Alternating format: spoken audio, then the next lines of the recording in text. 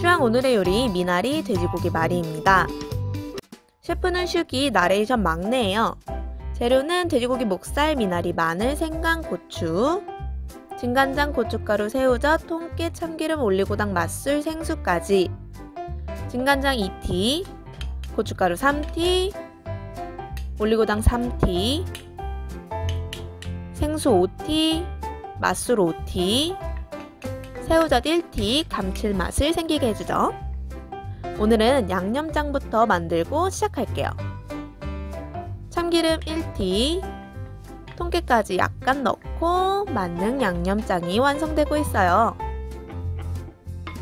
마늘은 얇게 썰어주고 작게 작게 채 썰어줄게요. 식감이 좋거든요. 생강도 얇게 채 썰어 주세요.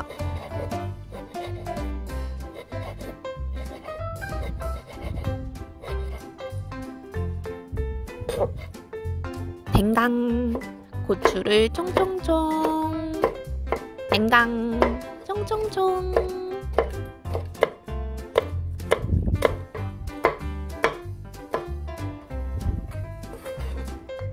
이제 양념장에 손질한 재료를 넣고 함께 섞어줄게요.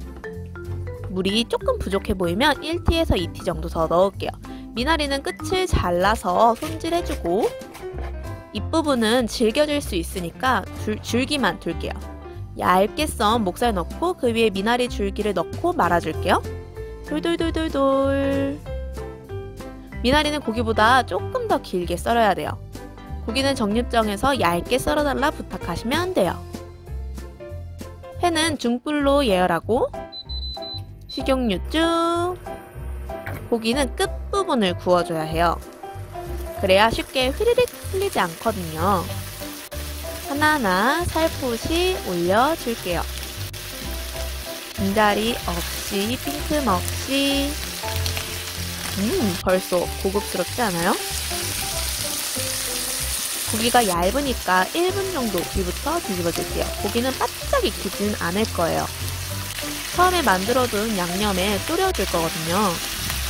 적당히 핏기 없을 정도로만 굽고 빼줄게요. 벌써 먹음직스럽네요. 이제 양념하고 이제 양념하고 함께 졸여줘 볼까요? 양념을 먼저 이렇게 넣고 넓게 펴주기 그리고 차례차례 하나씩 하나씩 올려줄게요.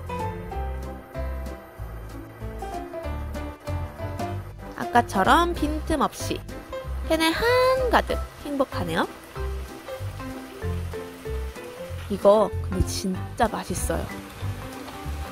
골고루 양념에 졸여지게 뒤집어주고 음 이렇게 양념이 거의 쫄아들면 고급스럽고 맛있고 영양가 있는 오늘의 요리가 완성입니다. 완성! 저희가 준비한 영상은 여기까지. 오늘도 시청해주셔서 감사합니다. 저희 영상이 도움이 되었다면 구독과 댓글 부탁드릴게요. 그럼 우린 다음 영상에서 또 만나요. 안녕!